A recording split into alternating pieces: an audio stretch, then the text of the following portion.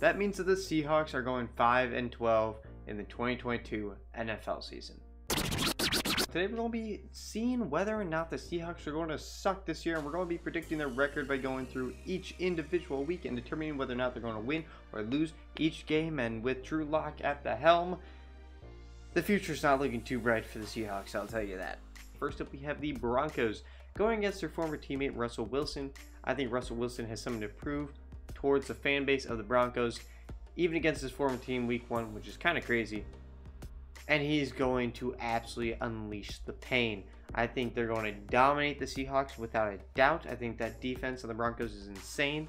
And I think Russell Wilson's ready to throw so many touchdowns to not only Jerry Jeudy, but also also Courtland Sutton. So that's an easy dub for the Broncos, which means that's an easy L for the Seahawks. Then we have the 49ers, who have Nick Bosa, Deebo Samuel, Brandon Aiyuk, George Kittle, and Jimmy G, and Elijah Mitchell. All amazing players. And I'm going to be honest, Seahawks have zero chance against the 49ers. They're officially 0 and 2 on the season. Or I, I guess 0 and 2 on the season, whichever whichever one looks right in the camera.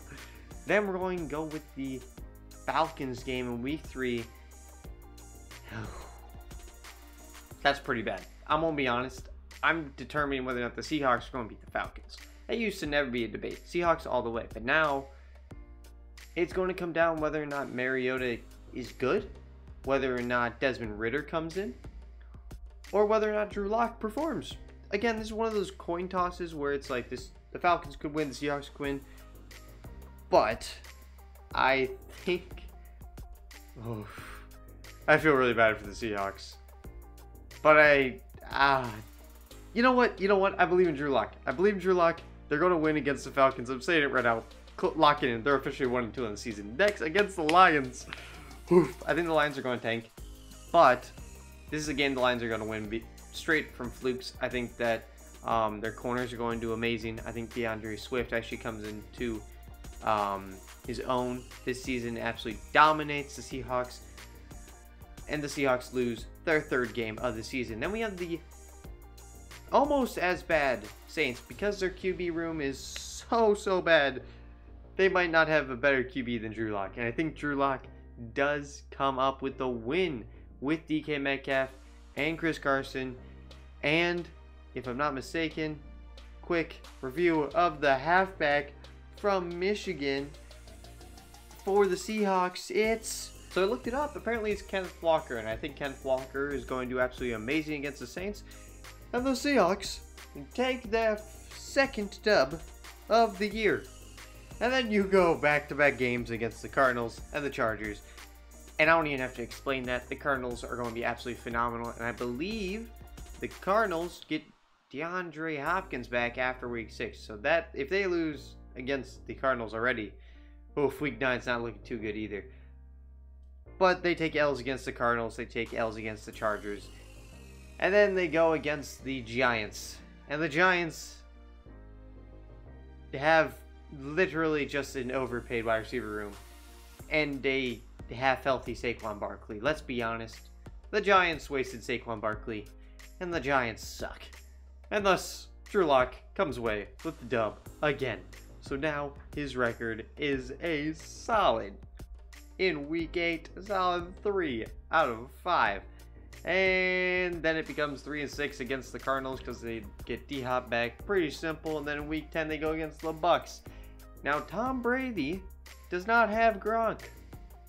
But that don't matter because he is a 6'5", 245 wide receiver, Mike Evans, who he's just going to bomb over the top of the Seahawks and just dominate. I think that game's going to be like a 28 to 20, I want to say 28 to 3, but who knows? That might be a comeback score right there. So we're going to go with 28 to 10 for that game.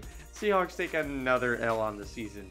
Then they go into their bye week. They're like, okay, guys, we got to warm up. We got to be like, okay, it's fine. We've only won three out of our 10 games so far. It's a pretty bad record. Not going to lie. Pretty, pretty bad. So obviously, we're looking for a new QB next season. Fingers crossed. And then you go against the Raiders and then the Rams. Oh, dude. I feel so bad. Their schedule is so hard. Like, so hard. I feel so bad. Because everyone's going to hate me for this. Right? Right? Right? But they take L's against the Raiders because they have Davante Adams and that insane wide receiver, tight end, running back core along with Derek Carr.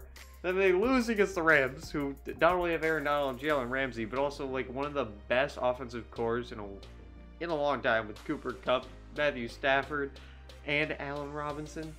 Yes, I'm a Bears fan, so Allen Robinson, Phoenix Cross, hope he does well.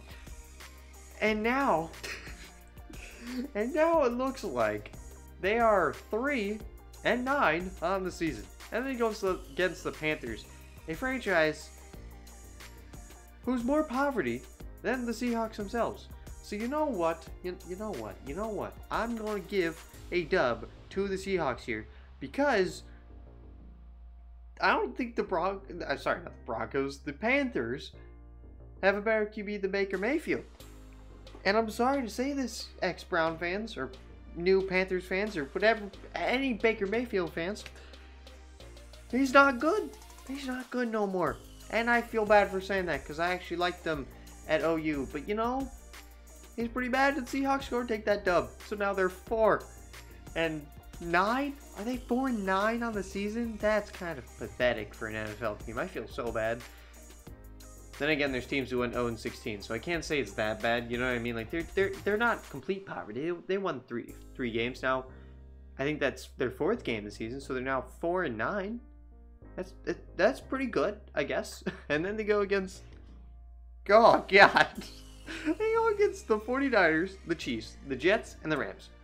Now, let's break this down just really quick. I think this might be one of our shortest videos we've done on the channel for this series.